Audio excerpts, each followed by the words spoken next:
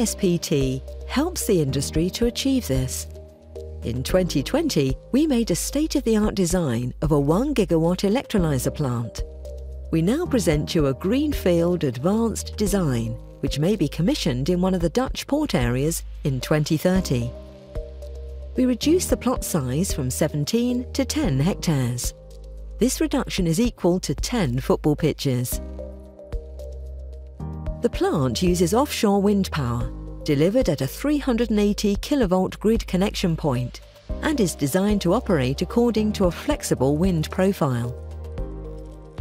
To prepare the electricity from the grid to the needs of the electrolysers, electrical installations transform high to medium to low voltage. Rectifiers convert alternating current to a stable direct current. Novel alkaline and PEM electrolyser stacks are used for splitting water into hydrogen and oxygen. The innovative stacks are expected to achieve higher production rates by large surface areas and more cells, leading to larger power ratings. The 20 megawatt alkaline stacks have 335 cells at a current density of 1.3 amps per square centimetre. They use high-performance non-noble electrodes and operate at a temperature of 100 degrees Celsius. To explore the effect of different technologies, we also made a version of the design with 10 megawatt PEM stacks of 310 cells operating at a temperature of 70 degrees Celsius. These stacks use high-performance materials, thinner membrane and less scarce materials. The electrodes materials contain reduced iridium loading at the anode and have a current density up to 3.5 amps per square centimetre.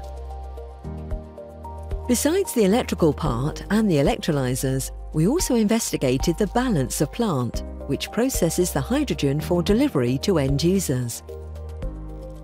It is optimised and consists of separators with recirculation circuits, pumps and heat exchangers compression only for the alkaline design, and a purification including deoxidizers and dryers.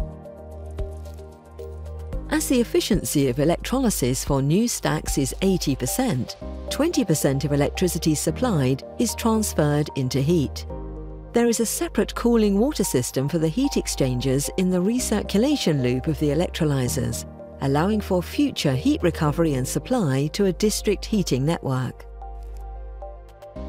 The hydrogen will be delivered to industrial end users through a hydrogen pipeline or backbone.